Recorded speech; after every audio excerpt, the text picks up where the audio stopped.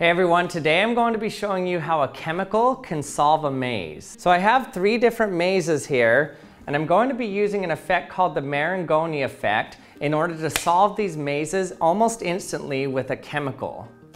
Okay, so in order to do this, I need a solution of a fatty acid. So I chose oleic acid here, and I mix it in an alkaline solution of potassium hydroxide. So this is just a little bit of oleic acid mixed with potassium hydroxide here. And then I need some hydrochloric acid. And then I just need some sort of water-soluble dye. So first what I do is put the alkaline solution mixed with the fatty acid in the maze. So that goes through the whole maze.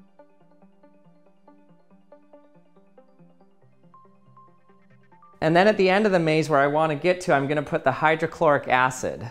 And I just have a little sponge here as a source for my hydrochloric acid at the end here.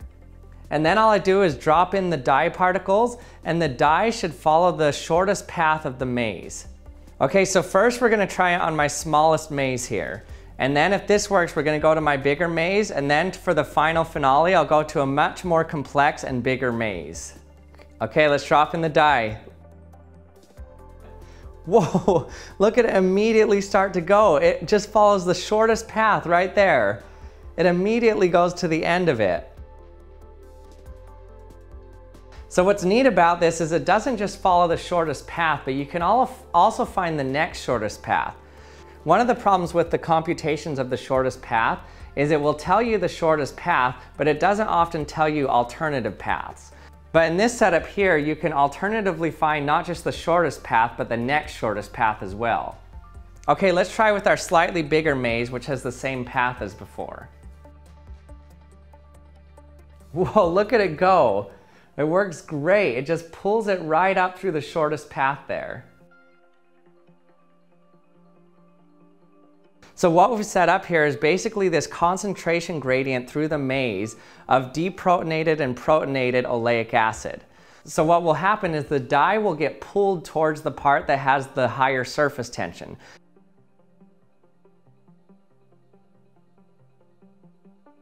Okay, and finally we're gonna try it with our biggest maze.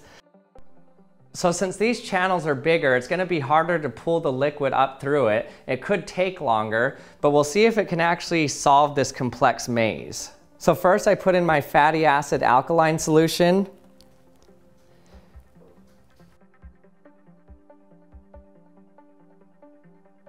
And then I drop in my hydrochloric acid.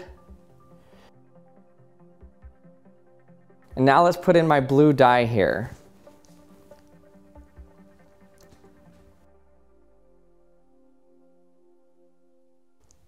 So you can see at first it kind of diffuses both ways, but then it can start to find that concentration gradient and sort of get pulled up through it. And as it gets closer and closer to the acidic solution, then the pull gets stronger. Whoa, look at it start to meet there and just cr create this turbulent flow. So you can see how the, strong the pull is there. It's actually sucking up the liquid, you can see it. So this blue dye that I have here is also changing color due to the pH. So it starts off blue and kind of ends up as this reddish yellow color. So efficient maze solving or finding the shortest path between two points of a complex system has always been a challenging mathematical and computational problem. So if you want to use a computer to solve a system like this, the time that it takes to solve it scales to the size of the system, which would be n, raised to some power. So the bigger your system is, it gets inherently more complex and it takes a lot longer to solve it. So scientists are constantly trying to come up with ways to solve these systems using analog methods. So let me show you how this experiment works. So the way this works is through something called the Marangoni effect. And this has popularly been talked about in the way that alcohol climbs the edge of the glass. For example, if you have wine in a glass, it will climb the edge of a glass pretty high above the surface of it and even form droplets that fall back down. Okay, so let me show you what the Marangoni effect is. So I have some water that I'm gonna pour on here. Now watch what happens when I put a drop of alcohol on it.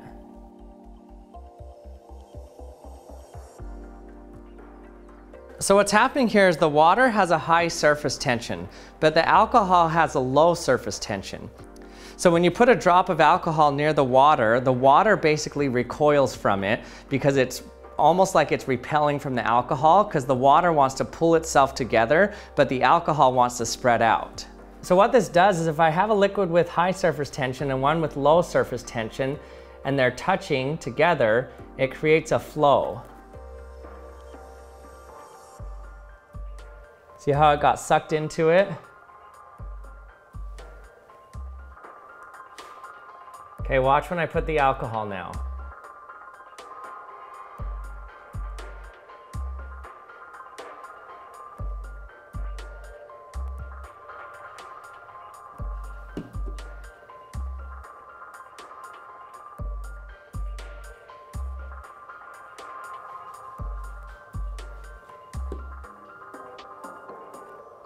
So the way this is working is the oleic acid can either have its hydrogen on its alcohol group or cannot have it. So it can either be protonated or non-protonated. So where the dye starts, that's mostly alkaline solution there. And so that means it's mostly deprotonated oleic acid.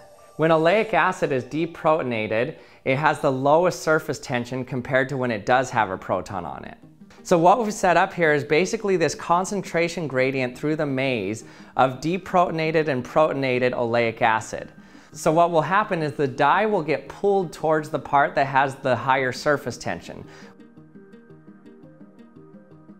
So this is really cool. That means if you had a small scale model of your city with all of the streets and everything, and you set up this same setup here where you have the fatty acid alkaline solution covering all the streets, and then you have your starting point where you drop your dye, and then your ending point is wherever you drop your acid solution. So wherever you drop your acid in, then that dye will immediately find the shortest path among all those different roads to your end point, which is really awesome. It's basically an analog computational method using just chemistry. If you want to learn more about this and see some of the math behind it, I'll put a link to a paper that did a similar setup to mine that was published. I'll put a link in the description. You can go check it out. And thanks for watching another episode of the Action Lab. I hope you enjoyed it. If you did, don't forget to subscribe if you haven't yet and hit the bell so you can be notified when my latest video comes out. And thanks for watching and I'll see you next time.